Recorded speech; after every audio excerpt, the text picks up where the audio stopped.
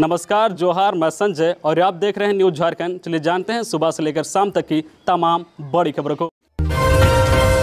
मौसम का पूर्वानुमान 30 और 31 को येलो अलर्ट।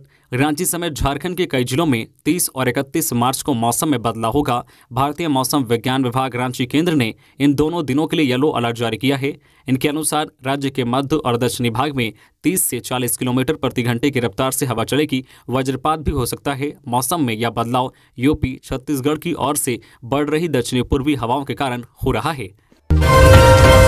नीलांबर पीताम्बर शहादत दिवस आज झारखंड के सीएम हेमंत सोरेन समेत कई मंत्रियों ने दी श्रद्धांजलि। हर साल 28 मार्च को नीलांबर पीताम्बर शहादत दिवस मनाया जाता है। आज ही के दिन सन अठारह सौ उनसठ में अंग्रेज़ों ने बिना कोई कानूनी कार्रवाई किए उन्हें फांसी दे दी थी। इसी आधार पर पूरे झारखंड में 28 मार्च को नीलांबर पीताम्बर दोनों भाइयों का शहादत दिवस मनाया जाता है। यह वीर शहीद पलामू ज़िले के चेमो सान्या गाँव के रहने वाले थे। नीलांबर पीताम्बर शहादत दिवस पर झारखंड के सीएम हेमंत सोरेन सहित कई मंत्रियों ने ट्वीट कर श्रद्धांजलि दी। सीएम हेमंत सोरेन ने वीर शहीद नीलांबर पीताम्बर को नमन किया। उन्होंने ट्वीट कर लिखा है कि अंग्रेज़ शासन के खिलाफ विद्रोह करने वाले झारखंड की माटी के वीर सपूत अमर वीर शहीद नीलांबर पीताम्बर जी के शहादत दिवस पर सत सत नमन। झारखंड के वीर शहीद अमर रहे। जय झारखंड। शहर में कल से तीन दिन तक भारी वाहनों का प्रवेश बंद। राजधानी रांची में रामनवमी जुलूस को लेकर शहर की ट्रैफ़िक व्यवस्था में तीन दिन तक बदलेगी। 29 मार्च की शाम चार बजे से 31 मार्च सुबह छह बजे तक शहर में भारी वाहनों के प्रवेश पर रोक रहेगी। सभी प्रकार के भारी मालवाहक वाहन रिंग रोड होकर अपने गंतव्य तक जाएँगे। वही 29 मार्च की शाम चार बजे से 30 मार्च की सुबह छह बजे तक किशोरी यादव चौक से अपर बाज़ार, महावीर चौक, शहीद चौक, सुभाष चौक के मार्ग पर वाहनों के प्रवेश पर रोक लगा दी गई है। इस संबंध में ट्रैफ़िक एसपी हारिस बिन जामा ने रूट चार्ट जारी किया है। कहा गया है कि स्थिति को देखते हुए रूट में बदलाव भी किया जा सकता है।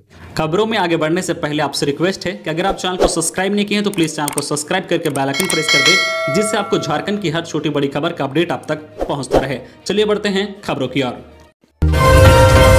उदयमान सूर्य को अर्घ देने के बाद चाती छठ का समापन साहिबगंज सहित पूरे झारखंड में चार दिवसीय लोक आस्था, नेम निष्ठा, सूर्य उपासना का महापर्व चैती छठ पूजा के चौथे और अंतिम दिन मंगलवार अहल सुबह को शांतिपूर्ण तरीके से संपन्न हो गया। बता दें कि सोमवार शाम को और मंगलवार की सुबह छठ व्रतियों ने जिला के विभिन्न गंगा घाट पर अर्घ दिया और भगवान सूर्य की आराधना की। वही उदयमान सूर्य को अर्घ देने के बाद छठ व्रतियों ने माँ गंगा व सूर्य देव का गंगा घाट में पूजन करके ठेकुआ कसार सहित फल फूल चढ़ाकर घाट पूजन किया। उदयमान सूर्य को अर्घ देने के साथ ही छठ व्रतियों ने छठ का पारण किया और चैती छठ का समापन हुआ।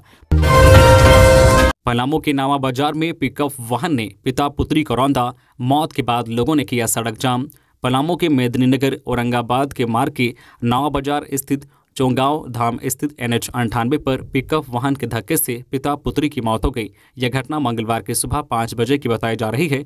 घटना के बाद आक्रोशित लोगों ने सड़क एन एच अंठानवे को जाम कर दिया।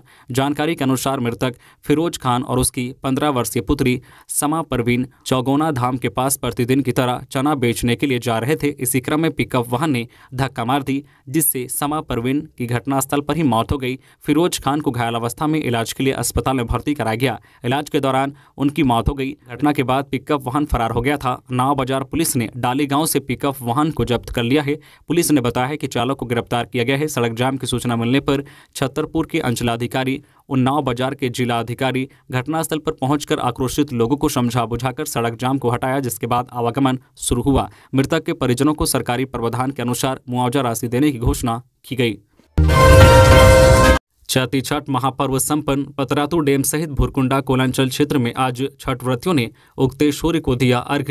आज रामगढ़ के पतरातू डैम सहित भुरकुंडा कोलांचल क्षेत्र में उगते सूर्य को अर्घ देने के साथ चाती छठ महापर्व संपन्न हुआ। छठ व्रतियों ने अस्ताचलगामी भगवान भास्कर सूर्य देव को सोमवार शाम को अर्घ दिया था। वही आज उगते सूर्य भगवान भास्कर को अर्घ देने के साथ छठ महापर्व संपन्न हो गया। आपको बताते चले कि पतरातू डैम नलकारी नदी तट पर हज़ारों की संख्या में छठ व्रती सहित श्रद्धालुओं की भीड़ उमड़ी थी। इस दौरान क्षेत्र के गण्यमान लोग भी छठ घाट पहुँचे। वही छठ पूजा युवा समिति ने सूर्य को अर्घ देते हुए छठ व्रतियों के बीच दूध वितरण किया। पुलिसकर्मी विधि व्यवस्था को लेकर मुस्तैद रही। इसके अलावा पतरातू, भुरकुंडा, कोलांचल के आसपास, भदानी नगर और बासल क्षेत्र में भी नदियों और तालाबों पर छठ व्रती पहुँचे और भगवान आदित्य को कल संध्याकालीन अर्घ के साथ आज उगतेश्वरी को अर्घ दिया। इस दौरान पूरा क्षेत्र छठ माँ के भक्ति गीतों से भक्तिमय रहा। रांची में नई टैक्सेशन प्रणाली लागू 70 प्रतिशत घरों का कम होगा होल्डिंग टैक्स। राज्य सरकार के फैसले के बाद राजधानी रांची में नए सिरे से होल्डिंग टैक्स का निर्धारण कर लिया गया है। नई टैक्सेशन प्रणाली में अब शहर के दो लाख पच्चीस हज़ार घरों को बढ़े हुए टैक्स से राहत मिलेगी। इस संबंध में टैक्स कलेक्शन का काम कर रहे कर्मियों की माने तो नई दर लागू होने से शहर के सत्तर प्रतिशत घरों को सीधे तौर पर फ़ायदा होगा। वही व्यावसायिक भवनों के टैक्स भी नई प्रणाली से काफ़ी कम होंगे। पूर्व में जहाँ टैक्स का निर्धारण सर्कल रेट पर होता था, अब इसका निर्धारण परमंडल स्तर पर कर दिया गया है। मतलब दक्षिणी छोटा नागपुर क्षेत्र में पड़ने वाले रांची, खुंटी, सिमडेगा, लोहरदगा व गुमला की ज़मीन की दर के आधार पर औसत दर निकाली जाएगी, चूँकि रांची को छोड़कर दूसरे ज़िले में जमीनों की दर काफ़ी कम है। ऐसे में सभी जगह की ज़मीन की दर को मिलाकर उसका औसत निकाला जाएगा, फिर उसी के आधार पर टैक्स की गणना की जाएगी। वर्ष 2022 से राज्य में सर्किल रेट पर होल्डिंग टैक्स का निर्धारण हुआ था। इससे आवासीय भवनों का टैक्स 20 से 30 प्रतिशत, वही व्यावसायिक भवनों का टैक्स 8 से 10 गुना बढ़ गया था। अचानक हुई इस टैक्स वृद्धि से व्यवसायी वर्ग भी नाराज़ हो गया था। वही सत्ताधारी दल के मंत्री भी इससे नाराज़ थे। इसे देखते हुए टैक्सेशन प्रणाली को बदलकर अब नए सिरे से प्रमंडल स्तर पर टैक्स की गणना की गई। सरहुल का प्रसाद खाकर 150 से ज़्यादा लोग बीमार, चना और गुड़ खाने के बाद बिगड़ी लोगों की तबियत, छप्पन लोग की हालत गंभीर। सरहुल पर प्रसाद के नाम पर लोगों में चना गुड़ बांटा गया। इसे खाकर छप्पन लोग बीमार पड़ गए। घटना लातेहार ज़िले के चंदवा की है, जहाँ चेटर और सासांग पंचायत के लगभग 150 से ज़्यादा लोगों के बीमार होने की खबर सामने आई है।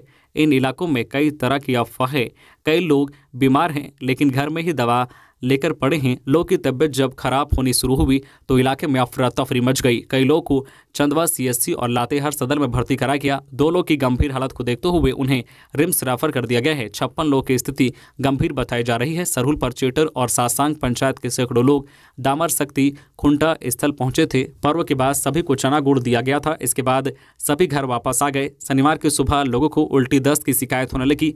कई लोग को बुखार भी हुआ। ग्रामीण तुरंत ग्रामीण चिकित्सक के पास पहुँचे, लेकिन धीरे धीरे मजदूरों की संख्या बढ़ने लगी। रविवार को स्थिति विकराल हो गई और इस भयावह स्थिति की जानकारी राज्य के चिकित्सा विभाग को मिली। तुरंत एक टीम तैयार कर गाँव भेजा गया। रविवार की रात साढ़े नौ बजे से देर रात ढाई बजे तक सैकड़ों ग्रामीणों का उपचार हुआ। इसमें से कई लोग की स्थिति अब पहले से बेहतर बताई जा रही है। सिविल सर्जन लातेहार ने स्वयं प्रभावित लोगों का दौरा कर टीम को आवश्यक दिशा निर्देश दिए हैं। इस संबंध में चंदवा सामुदायिक स्वास्थ्य केंद्र के प्रभारी डॉक्टर एन के पांडे ने बताया कि यह फ़ूड पॉइजनिंग का मामला लग रहा है। लोगों की तबियत चना और गुड़ खाने के बाद बिगड़ी है। मरीजों का इलाज चल रहा है। चना और गुड़ का सैंपल ले लिया गया है। जाँच पूरी होने के बाद ही कुछ कहा जा सकता है। फ़िलहाल मरीजों का इलाज किया जा रहा है। रांची के स्वर्णरेखा पुल के नीचे एक अज्ञात का शव बरामद। जगन्नाथपुर थाना क्षेत्र के ओम्बरिया रोड स्वर्णरेखा पुल के नीचे एक अज्ञात शव बरामद किया गया है, जिसकी उम्र 45 वर्ष बताई जा रही है। फ़िलहाल मामले की जाँच की जा रही है। नक्सल प्रभावित छह जिलों में लगेंगे मोबाइल टावर चतरा चाईबासा समेत छह जिलों के नक्सल प्रभावित क्षेत्र में universal service obligation fund U S O F परियोजना के तहत मोबाइल टावर लगाए जाएँगे। इसको लेकर आज मंगलवार को एडीजी अभियान संबंधित ज़िले के एसपी के साथ झारखंड पुलिस मुख्यालय में समीक्षा बैठक करेंगे। जिन जिलों के नक्सल प्रभावित क्षेत्रों में मोबाइल टावर लगाए जाएँगे, उसमें चतरा, कोडरमा, गिरिडीह, सरायकेला चायवासा और गढ़वा शामिल हैं। उल्लेखनीय है कि मोबाइल टावर के चालू होने से ब्रॉडबैंड की पहुँच बढ़ेगी। इससे कई गाँवों को कवरेज प्रदान करने और डिजिटल विभाजन को रोकने में मदद मिलेगी। साथ ही मोबाइल कवरेज इन नक्सल प्रभावित क्षेत्रों में वामपंथी उग्रवाद से निपटने में गेम चेंजर साबित हो सकता है। 244 बसें खरीदी जाएँगी। रांची में ऐसी इलेक्ट्रिक सिटी बसें चलेंगी। झारखंड सरकार रांची नगर निगम क्षेत्र में यात्रियों की सुविधाएँ बढ़ाने और निजी वाहनों का दबाव कम करने के लिए सार्वजनिक परिवहन प्रणाली विकसित करेगी। इसके लिए 244 बसें खरीदी जाएँगी। इनमें 200 नन एसी डीजल बसें और 24 एसी इलेक्ट्रिक बसें होंगी। बसों की खरीद और इसके परिचालन पर कुल 605 करोड़ रुपए खर्च होंगे। इसका संचालन पीपीपी मोड पर किया जाएगा। कल मुख्यमंत्री हेमंत सोरेन की अध्यक्षता में हुई कैबिनेट की बैठक में इस प्रस्ताव पर मंजूरी दी गई है। पीपीपी मोड पर बसों के संचालन के लिए तीन पक्ष होंगे। रांची नगर निगम रूट तय करेगा और ऑपरेटरों को मिलने वाली राशि उपलब्ध कराएगा। ऑपरेटर वन बसों का परिचालन करेगा और ड्राइवर मुहैया कराएगा। रामनवमी को लेकर 31 मार्च तक अधिकारियों व कर्मचारियों की छुट्टी रद्द। ड्रोन से जुलूस की होगी निगरानी। कुल्हान परमंडलीय आयुक्त मनोज कुमार व कुल्हान रेंज के डीआईजी अजय लिंडा ने रामनवमी पर्व को लेकर कल सोमवार को तीनों ज़िले के वरीय पदाधिकारियों के साथ ऑनलाइन बैठक की। आयुक्त ने सभी उपायुक्तों को निर्देश दिया है कि 28 मार्च से 31 मार्च तक कोई पदाधिकारी व कर्मचारी जिला मुख्यालय छोड़कर नहीं जा सकते हैं। विशेष परिस्थिति पर उपायुक्त के अनुमोदन के बाद ही छुट्टी प्रदान की जाएगी। आयुक्त ने निर्देश दिया है कि जुलूस मार्ग की जाँच करे। मार्ग में मौजूद सीसीटीवी कैमरे की जाँच करे। आवश्यकता अनुसार अस्थायी सीसीटीवी कैमरा लगाने का कार्य करे। ज़रूरत के अनुसार जुलूस मार्ग पर बैरिकेटिंग करे ताकि जाम न लगे। जुलूस की निगरानी ड्रोन कैमरे से अवश्य करे। भड़काव गाने व सोशल मीडिया पर पैनी नज़र रखे। असामाजिक अफवाह फैलाने वाले व्यक्ति पर कार्रवाई करे। धनबाद रेल थाने के इंस्पेक्टर की हार्ट अटैक से मौत। धनबाद रेल थाना के इंस्पेक्टर अमरजीत प्रसाद की मंगलवार को मौत हो गई।